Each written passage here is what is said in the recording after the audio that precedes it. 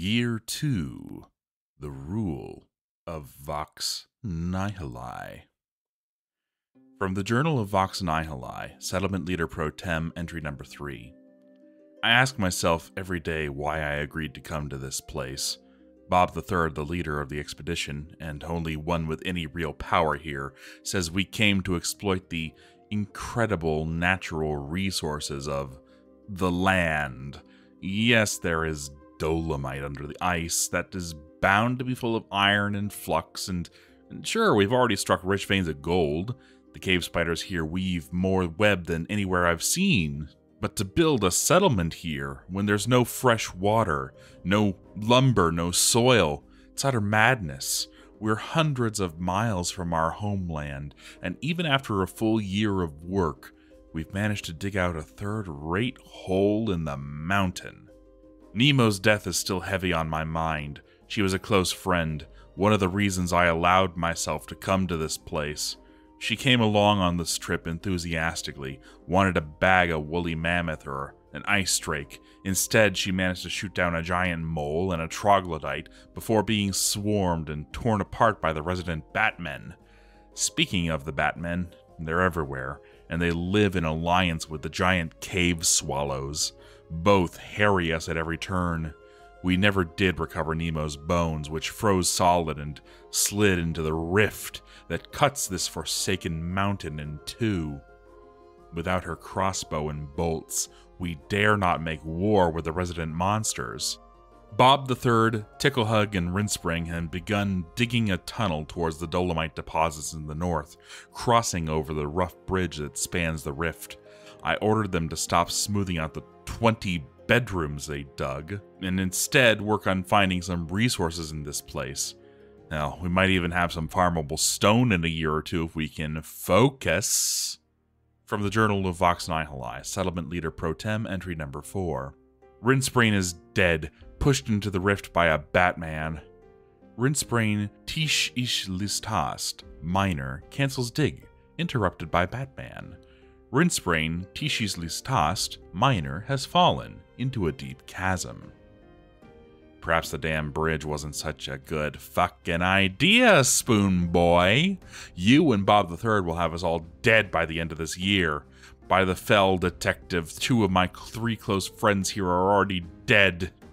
Armorer Vox Nihili Bossa Iden was is friends with Nemo, Rinsbrain, Ticklehug, and long-term acquaintances with Skaw Spoonboy and Bob III. Oh, and good luck recovering the pick from the bottom of the rift. I swear I will do everything I can to keep the surviving five alive. I am not a believer in blood spilt needlessly. I craft armor, not weapons. I worship the goddess of music and poetry, not at war. Aetith Poemhumd is a deity of the Gate of Climaxes. Aetith most often takes the form of a female dwarf and is associated with youth, longevity, dance, music, revelry, and festivals. From the Journal of Vox Nihili, Settlement Leader Pro Tem, entry number 5. Today, Ticklehug, my last friend in this place, was taken by a giant cave swallow on the far side of the rift. The thing moved with unworldly speed and tore her apart in a flurry of ink black feathers. She managed to swing her pick once or twice, barely scratching the beast. Her body sits in pieces, partially consumed on the far side of the rift. The beast that murders her guards her mutilated corpse and taunts us with its calls. We dare not fight it on the bridge with only the four of us remaining. Ticklehug worshipped Egal, god of the wind, and came to this place to be closer to his cold essence. She did not deserve to die this way. Today, I will convince Bob III that we must abandon this place and head back to the mountain home. There's nothing left for me here. From the Journal of Vox Nihili, Settlement Leader, Pro Tem, entry number 6. I called for a meeting with Bob III and told him it was time for us to leave but he would have none of it. I left angrier than I've ever been. I am very unhappy. I have no hope of surviving this endeavor. Bob the Third seemed equally upset, but was far too stubborn to give up yet. Vox Nihili Bossinaiden has been very unhappy lately. He yelled at someone in charge lately, but only got angrier. He's lost a friend to tragedy recently. He admired a fine trap lately. He slept without a proper room recently. He was disgusted by a miasma lately. He's complained of the lack of chairs lately. He's been satisfied at work lately. With no hope of leaving, I ordered a solid door be constructed to keep out the rift creatures. The door has been locked and forbidden. From the Journal of Vox Nihili Settlement Leader, Pro Tem, entry number 7. An elven caravan somehow found its way to this place. We traded some mechanisms for wooden furnishings, fisherberry wine, and some bloated tubers. The idiot elves were thrilled with the trading, utterly fascinated by the simple mechanisms we gave them. I can't wait for them to freeze to death or leave. In addition, I disabled the front door mechanism lever link and had it replaced with two solid doors that didn't require someone pulling a lever in the back of the settlement to close out the troglodytes. Perhaps we'll live to see a second summer in this place. From the Journal of Vox Nihili, Settlement Leader Pro Tem, entry number 8. Migrants! 20 fools straight out of the mountain home made their way here. Perhaps they were led to believe that Syrup Leaf would be a dwarven utopia, a place of excess and celebration. If only. This place is likely to be our tomb, now, more than ever, how can we hope to feed so many with so little? I'll have to set up a butcher shop to make use of our draft animals, a kitchen so we can cook our useless seeds, a still to brew what few plants we have, seven plump helmets and five bloated tubers, before some starving idiot eats them. Unfortunately, the migrants did not realize the danger that exists in this place and headed straight for the entrance, right past the gaping open half of the rift. Suddenly, a giant cave swallow, who happens to be male, appears. Fortunately, these dwarves did not prove to be the coddled pleasure hunters I'd expected. A Batman appears and is badly injured with brain damage. They even slay another Batman we named earlier. Aban Atholatsul's corpse lies on the ice. They killed several Batmen and drove off a giant cave swallow, only to have more Batmen follow them directly into the fort. Our one brave peasant fights a Batman inside while a second Batman attacks the elven traders. However, one migrant flees over the glacier and is brought low, another corpse that we may never recover. There are 23 of us now. However, we only have one skilled miner, have lost one pick, and another is still guarded by a giant cave swallow. Fortunately, we brought a fourth, just in case, and I hope to train additional miners, masons, and crafters. When the next caravans arrive, we will have more than a few mechanisms to trade. That is, assuming we don't all starve to death first. From the Journal of Vox Nihili, Settlement Leader Pro Tem, entry number 9. I fear the end is near. Our supplies are dwindling. Even now, hungry mouths consume the last of our pickled turtles and salted plump helmets. The estimates Bob the Third makes are optimistic. Personally, I counted some two plump helmets, five bloated tubers, and 15 turtles remaining, amongst a few bits of meat. This would have fed the four of us for months, but will be depleted quickly by our 23 current residents. Perhaps, perhaps some measures might be required. First, though, I order that our surviving draft animals be butchered, along with a few of the weaker looking puppies. Our new tannery, kitchen, still, and butcher shop will yet keep us alive, and in summer, perhaps a human caravan will bring warm tidings and warmer food. Skaw, one of the original seven to set out to this place, was taken by a mood. and created our settlement's first true artifact, a tower cap statue. Linon Tashem, the continent of pulling, a tower cap statue. This is a tower cap statue. All craftsdwarfship is of the highest quality. It is decorated with tower cap. This object menaces with spikes of tower cap. On the item is an image of hippos in tower cap. Perhaps hunger prompted him to carve images of fat, delicious looking hippos on the side. I begin to wonder just how much nutritional content tower caps might have. From the Journal of Vox Nihili, Settlement Leader Pro Tem, entry number 10. It is summer now, and the situation worsens. Our intrepid residents have recovered most of Ticklehug's remains, though unfortunately her skull will probably never be found. Her remains were interred in the most respectful tomb we can construct, given the current situation. With her pick and the spare in our stockpile, we outfitted two unskilled peasants to work as apprentice miners to Bob III. They have started a massive project to tunnel magma from the nearby vent under the frozen fresh water springs and brook nearby. Bob III says Nur will give them strength to preserve. Nur, the special glitter, is a deity of the Gate of Climaxes. Nur most often takes the form of a male dwarf and is associated with thunder, lightning, the rain, storms, and consolation. Personally, I feel his useless God holds no sway over this place, where dark clouds linger always, but neither rain nor snow ever fall. Meanwhile, misfortune continues to mock us ceaselessly. Rixuan managed to get bitten by a highly venomous cave spider, though he's expected to survive.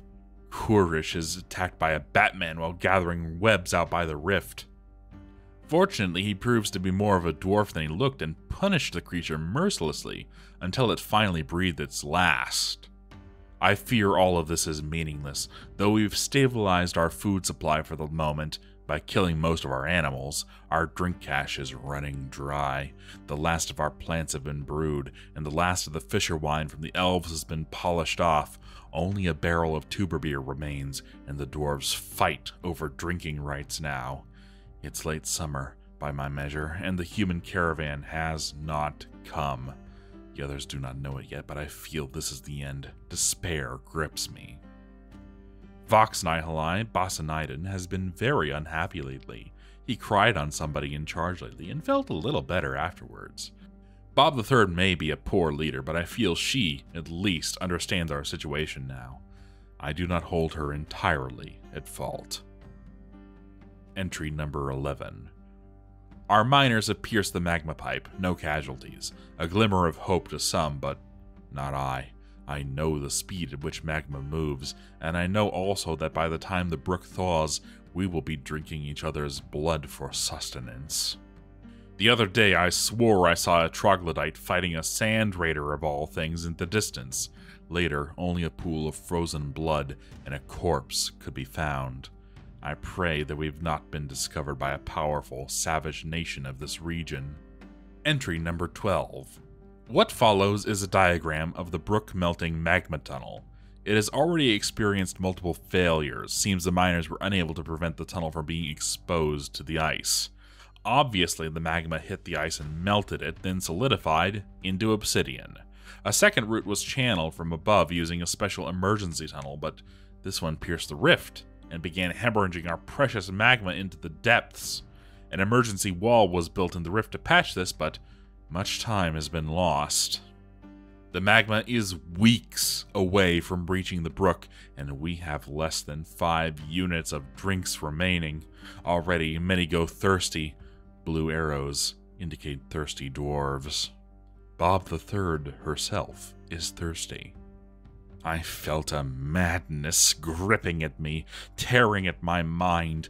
No drinks left. Magma too slow. No drinks left. Caravan coming soon. No drinks left. All my friends dead. No drinks left. No gods left. No hope left. Water. Everyone solid, hard, undrinkable, a good flagon of ale, a barrel of wine, a mug of beer, aye, a cup of ale. That's the stuff. They laugh at me. Why? None of them have drinks either, unless no, no, no, no, no. My friend Spoonboy would tell me if there was anything to be had. Oh, oh, yes. Oh, Atlith, where is your revelry in this place? I will have none of them at it. None of them. I must be alone. I will be alone. What's that? You have a job for me? oh, yes. Yes. Vox Nihili Bossinaiden armor cancels store item in stockpile. Taken by Mood. Vox Nihili Bossinaiden armorer withdraws from society. Excerpt from the official journal of the Caravan of the Mountain Home. Today we came upon the settlement of Syrupleaf, hoping to take on great loads of food and drink from the settlement. My initial impression of the landscape is that of a blighted Arctic wasteland.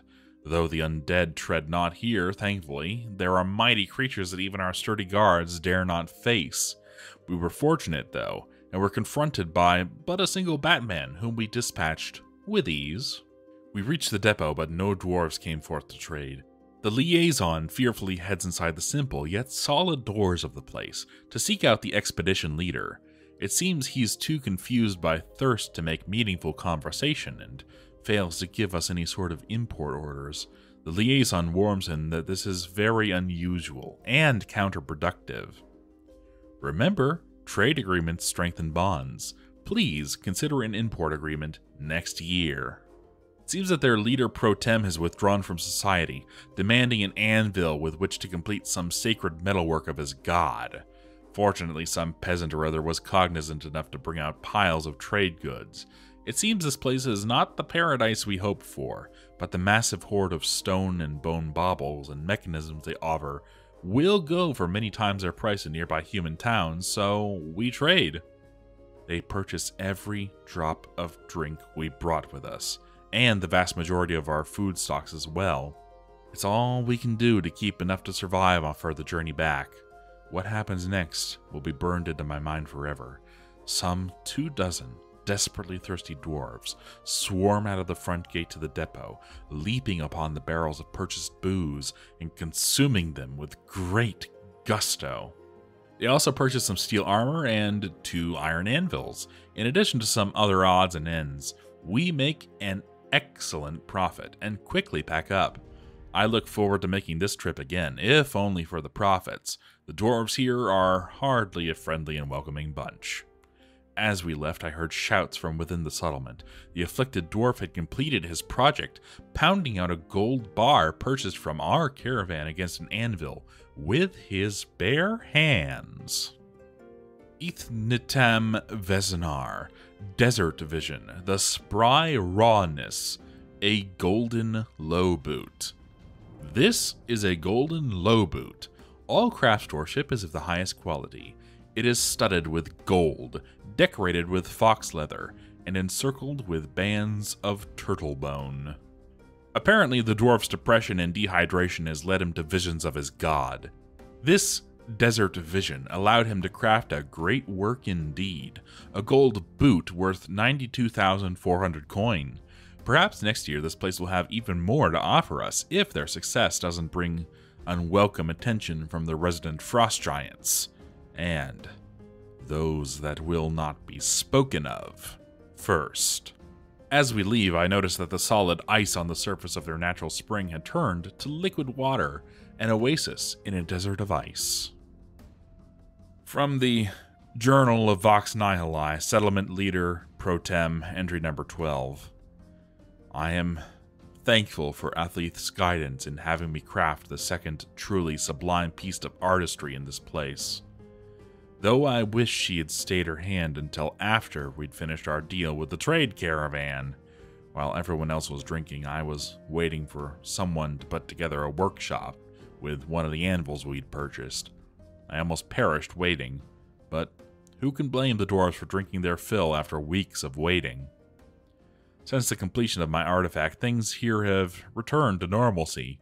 The water collecting tunnel is not going as well as we'd hoped, Apparently, thawing only a small part of the spring means most of the source water remains trapped. However, it is slowly making its way down to the cistern until the river refroze. Yes, the temperature fell so far that even with a tube of magma directly under the spring, it returned to a state of solid ice. In other news, a kobold thief was seen trying to make its way into our settlement, but was immediately chased off. Seems at least two civilizations will be attempting to steal from us in the future. Entry number 13. A vile force of darkness has arrived. Spawn of holistic wrestler, male, looms over the horizon, along with a horde of its cohorts. Our past problems are nothing. They have come to this place. Those that haunt dreams, the half dwarves, the living dead demons of another place, the lowly but fierce spawn of the ever fallen holistic detective. They come with no weapons, for their useless, regrown claws of hands could never hold anything meaningful. They come without clothes or armor. But imagine the fear that must have struck in our lookout. Imagine seeing the sixteen or so creatures with their mottled gray, hairless, and naked, twisted flesh, their massive, slobbering maws where once was a mouth, taking up the entire space where, there, where a normal dwarf's face would be, their eyes and nose pushed bizarrely to the sides of their freakish head. But their mouth Oh, a teeth, their mouth. They have no chin, nor true beard, though long, spindly hairs grow both within and outside of the gaping hole in their head.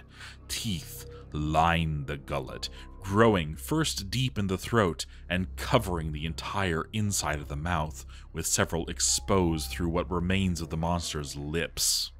It is said that when the god Nemo fought the fell god beast holistic detective, Nemo struck off both her hands, then slashed her face open along the mouth with his obsidian blade.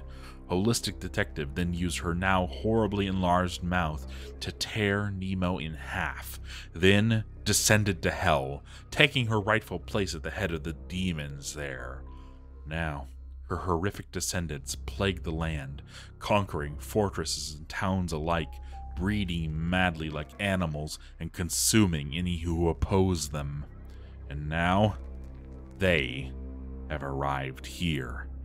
I called together a small vanguard consisting of seven dwarves Bob the Third, Kennel, Lackloss, Royal W, Holistic Detective, Luigi's Discount, and Skaw. Skaw and Lackloss carry axes.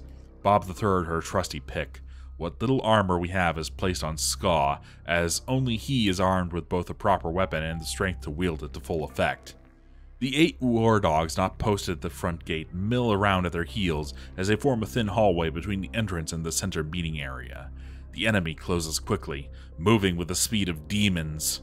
I order the front doors locked, but the kobold thieves had toyed with the mechanisms, and a dwarf had to run outside to check their function before they could be fully locked. Not that it mattered. A diorite door has been destroyed by a spawn of Holistic Wrestler. The other door has also been destroyed. Two war dogs have been struck down. Our guard dogs fell instantly, and those inside get a glimpse of the invaders. The combat dwarves stand nervously, unsure of themselves, waiting for the order to charge forward into the frothing masses of demon flesh. Most of them are unarmed, None are trained with their weapons save Bob the Third. The demons cannot bleed, nor feel pain, nor do they know fear, though it is said that a blow to their digestive organs can paralyze them momentarily as they vomit forth their foul meals. I consider briefly those who have lived and died under their horrible reign, then resign myself to my fate. I give the order.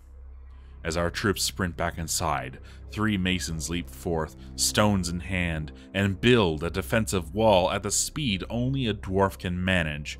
The monsters outside cannot break through such engineering as this, and we are now prisoners in our own fort. I hear the creatures outside destroying the trade depot. I'd hoped not to have to give this order. Hoped against hope. Swift death at the hands of demons is preferable to slow starvation any day, but certain death will never top even the slimmest chance of survival. I hang my head in shame. A short final update with images of the fort and the uploaded file should come later. I swear I did not expect these guys to siege so soon. I set them so that goblins or sand raiders should have sieged just long before they did. My artifact must have just pushed them over the edge or something. From the Journal of Vox Nihili, Settlement Leader Pro Tem, entry number 14. The dwarves are restless. We've already been shut inside this place for months, and peeks through the mortar have revealed that the demons are still in place, waiting. Some seem to be suffering from severe frostbite, but I doubt that they mind, being that pain is a concept nearly as foreign to them as mercy. I realize, though, why they have come, despite the fact that our settlement is only in its second year. The trade caravan sent out word of the glorious artifact I crafted, and this single treasure is enough to attract these loathsome beasts from whatever land they came from. So ultimately, it is I who brought doom to our humble settlement. Thus, I cannot in good conscience continue my reign. I will, however, document the current progress of the fort before passing the torch. Here, we see the progress of the water towards our cistern. Clearly, a larger area under the spring must be filled with water, but as we cannot go outside, this is impossible. However, at least, it is moving forward. The magma is filling up the tunnels under the to be dug out metalworking facility quickly. I'm dismayed at how long it has taken to put this project together, but it should bloom quickly if we do not all starve to death first. Here we see the plans for the smithing area above the former schematic. Next, I have planned out a massive crafting sector in addition to the large area of the lower middle level worker housing. Hopefully, the following rulers can complete both the housing and crafting areas. The final image shows the upper level of our fortress. One can see our successful mining projects in the north, as well as planned noble administrative offices and housing space in the south. Though offices have yet to be set up, I made preliminary assignments to the offices of Manager and Treasurer to Skullbuggy and Murder Mystery, respectively. Both will be expected to fulfill their current jobs and their administrative work in the future. The office of Sheriff remains vacant, and no jail has been set up, if we would fight amongst ourselves, I doubt we would have even the slimmest hope against the fiends that hold us hostage in our own settlement. Here is the final summary, which includes extremely rough estimates. I have no idea how the figure of 67,000 was reached for imports, but everything else looks about correct. Good luck to whomever takes up the mighty task that I leave to them. One final piece of advice keep cooking our useless seeds. It might keep us alive just long enough.